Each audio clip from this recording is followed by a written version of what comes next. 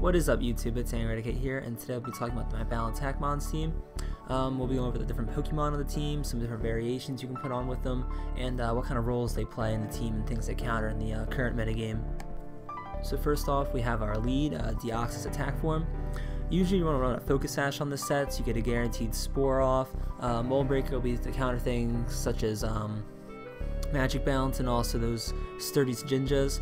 It's obviously a very good lead set, sporing anything that stops a lot of setup stuff, stops a lot of like hazard setting or anything really that kind of starts off in the beginning of the match. You have Spore, obviously puts off the sleep, and Mold Breaker helps it, like I said, against stuff with Magic Bounce. You don't have to worry about grass types not being affected by Spore. Really nice.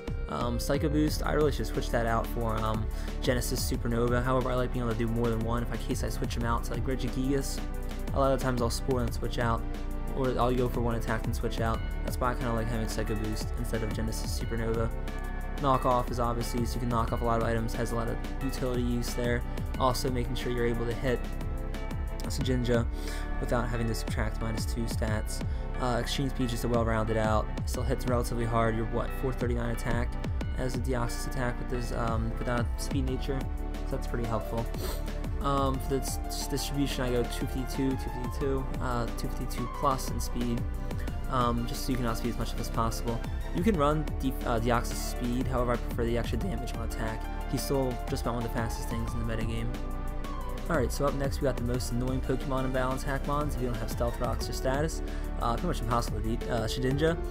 Um, obviously, I think most of you know this if you know anything about Balance Hackmons. Uh, with Sturdy, he can only die as status and stealth rocks, or like spikes, obviously. Um, super annoying to deal with if you don't have these, and that's why you'll see some of the other things kind of cater to him. I run Lum Berry, so Stom, like Toxic won't work the first time and such. Uh, for moveset, Endeavor, Shadow Sneak, Toxic, and Ice Shard. I don't run the Sword Dance setup set. I don't think usually I think like they do still have something that sets up stealth uh, stealth rocks or spy, um, toxic. You're more you're more beneficial to just go for the endeavor instead of trying to set up this sweep with shadow sneak. He still doesn't do that much damage. He's not that strong.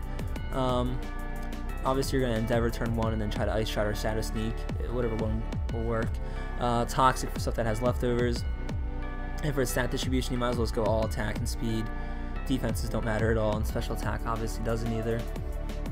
Um, things that counter this obviously things that um, set up stealth rocks and such. You're going to need something that balances it. I have Giratina on the team to bounce rocks back. I really should get someone who has defog, but I'm not really sure who to put that on. So I don't know. Um, yeah, other than that, he's pretty self-explanatory, easy to use. You want to make sure that uh, the stuff that has toxics are already dead or they're not in when you're switching into Jinja, because Lum Berry obviously only works once. But uh, he's a really good Pokemon to use, can usually get you a lot of damage off of an Endeavor, but make sure you don't get him killed by Stealth Rocks. Okay, up next we got Regigigas, who's obviously a beast of a mon without its stupid ability Slow Start. I give it Contrary and just run a bunch of boosting moves, Superpower V, Create Dragon, Ascent, and Recover to keep him healthy. I run Expert Belt for the super effective damage. That, that, gives you pretty good coverage between Fighting, Flying, and Dragon. You're a lot of things super effective. I could see running, I wouldn't run Life Orb because he's having Recovery, it's kind of contradictive to itself. Uh, contrary. Um, Uh, for his investment, I run 248 HP, 252 plus attack, and then the rest in special defense. I just threw in special defense. Um, the really nice thing about its different moves is that it gets superpower, which increases attack and defense. V Create increases speed and your defenses, and Dragon Ascent just increases your defenses. He gets bulky really quick, and again, unless you have status, which you can just switch in the Giratina to bounce it back, you're pretty much set at that point. Um, I like to bring him in after I spored something with Deoxys to get yourself an early boost, usually in superpower.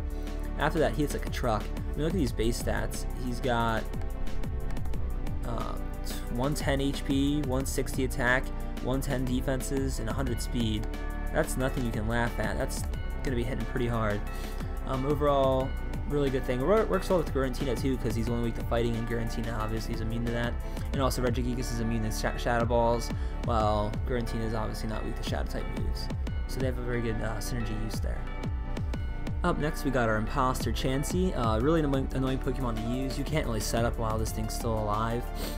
Uh, obviously, Eviolite's going to boost even after it transforms, and the fact that it gets to basically take all those stat boosts, and its HP stats still base 250, you basically, basically are a robber. You're basically stealing other person's setup stuff and just sweeping with it afterwards.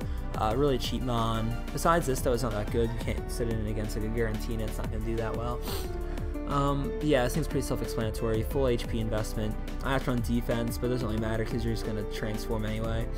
Um, in case you can't transform for some reason, like they have another Eevee, I run Soft Boil, Toxic, Seismic Toss, and Heal Bell. Typical Chansey set. Um, I could probably run Defog on this, but then again, you don't get that much of it. I never gotten a chance to use its actual moves. It always just ends up getting transformed pretty much right away. Uh, pretty self-explanatory mon counters any of the things that set up like Regigigas or any mon that tries to set up anything with contrary like almost every every team has at least someone who uses contrary so if they set up a bunch like against you like you make a few misplays or they get a crit before you can kill it just send this thing in afterwards don't switch it in but like obviously when something faints send this in it'll pretty much just hard counter it with that Eviolite boost Okay, up next we got Giratina, the wall of the team. Uh, typical leftovers and defense invested, or special defense invested with HP. Ability I chose Magic Bounce to help protect Shedinja and to absorb or to bounce back status conditions. Dragon Tail gives you a phasing move. Toxic obviously to try to wear down other stuff. Uh, Roost and Defog. I do have Defog on him. I don't know why I kept saying I have a Defog user. Um, just in general, kind of a good mon. Really bulky. It's not going to die to anything really quickly. It's the wall of Ubers for a reason.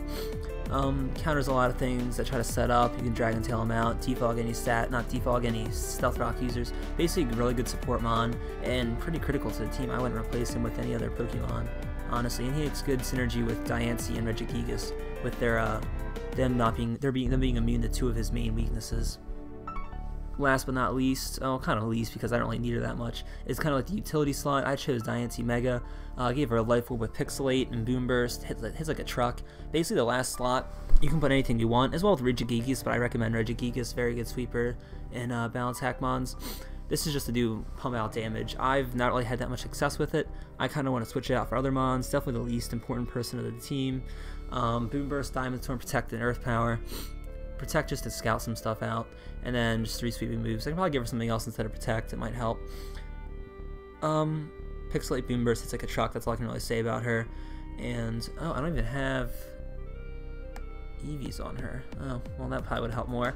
But, um, uh, yeah, she's not been that great, but I haven't had EVs on her apparently, so all those videos I use with her, she's not doing what she's supposed to be doing. I don't think I've really use her though in the videos, so I guess it doesn't really matter.